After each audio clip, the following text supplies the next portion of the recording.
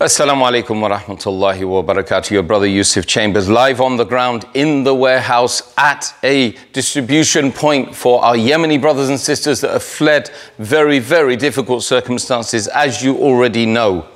Famine, desperation, you know, uh, injuries, etc., etc. This warehouse, just to let you know, was full yesterday. It's getting pretty empty now. By the end of today, it will be, it will be gone. All of this will be gone, inshallah, because the demand outside um, is outstripping the supply.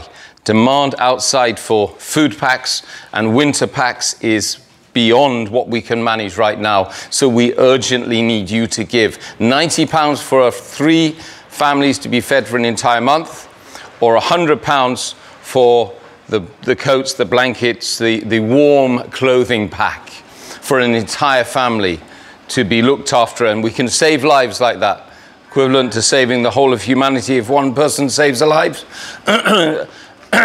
now, what I would like to say as well is that Allah subhanahu wa ta'ala says in the Quran, O you who believe, give unto Allah a goodly loan and He will give it increase. Meaning it's a promise from Allah subhanahu wa ta'ala that your mizan will be full of good deeds if you meet Allah subhanahu wa ta'ala and you fulfill that commandment in the Quran of giving a goodly loan, trusting Allah subhanahu wa ta'ala, and He will thrust upon you excellent rewards in this world and in the hereafter when you meet Allah subhanahu wa ta'ala. Let's fill this once again and it's not just this it's not just this warehouse, brothers and sisters, that we need to fill.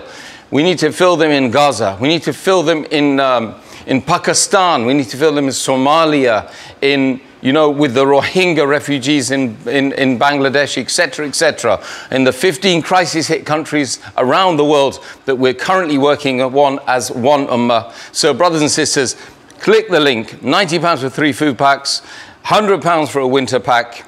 And may Allah subhanahu wa ta'ala reward you and share the video.